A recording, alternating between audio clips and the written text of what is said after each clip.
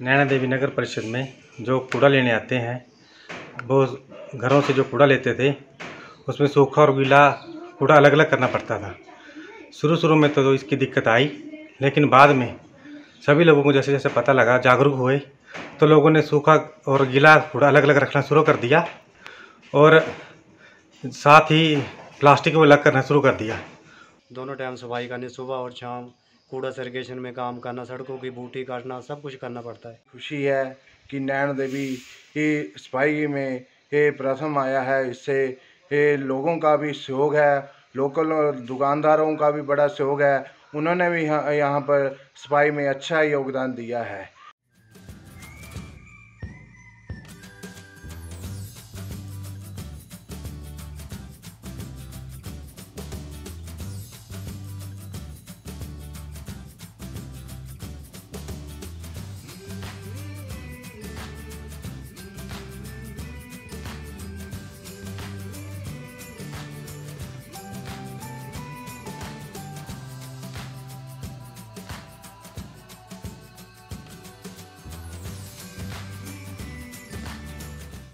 नैना देवी नगर परिषद के द्वारा जो सफ़ाई का कार्यक्रम चलाया था, उसमें शुरू शुरू में हम लोगों को थोड़ा समझने में दिक्कत आ रही थी। बाद में जब हम इसके बारे में पूरा समझ चुके थे और काम चला तो हमारे सब दो दो कूड़ादान नगर परिषद को दिए थे। हम उसमें जो गीला और सूखा कूड़ा अलग अलग डालते गए और कर्मचारी का वर्कर टाइम से आता रहा, उठाता रहा और उसमें सफ़ाई रही। यात्रियों को भी हमने कोऑपरेट किया और यात्री भी काफ़ी उसमें समझे।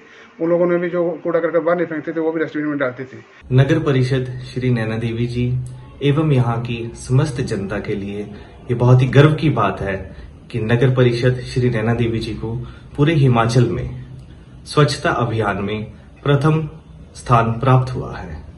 इसका श्रेय नगर परिषद के सभी कर्मचारियों को, स्थानीय प्रशासन, स्थानीय लोग, स्थानीय दुकानदारों को जाता है, जिनके प्रयासों से ये संभव हो पाया है। स्वच्छ सर्वेक्षण 2020 में श्री नैना देवी जी नगर परिषद जो है, वो पहले स्थान पर रही है। इस कैटेगरी में कि जो शहर पच्चीस हज़ार से कम जनसंख्या वाले नगर परिषद या नगर पंचायतें हैं।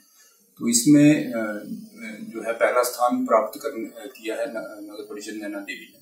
और पिछले साल जो है, ये रैंकिंग जो है, छवें नंबर पे थी, छठे स्थान पर हम रहे थे 2019 की जो रैंकिंग थी। तो इसके लिए जो एक तो मैं श्रेय देना चाहूँगा जो सामंजस्य और जो कॉपरेशन और कोऑर्डिनेशन रही है टेंपल ट्रस्ट के बीच में और नगर परिषद के बीच में तो उसको श्रेय जाता है और स्थानीय लोगों का जो सहयोग रहा है स्वच्छता को मेंटेन करने में।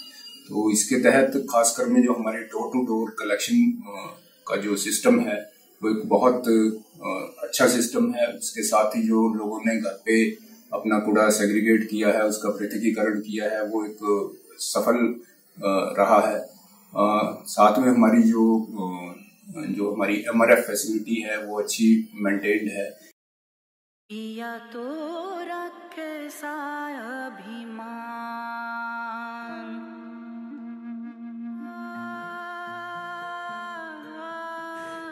घर से दूर होकर भी दिल को हमेशा यह एहसास रहता है उनका प्यार और फ़िक्र हमेशा मेरे साथ रहता है। भूषण ज्वेलर्स, अनमोल रिश्तों के लिए।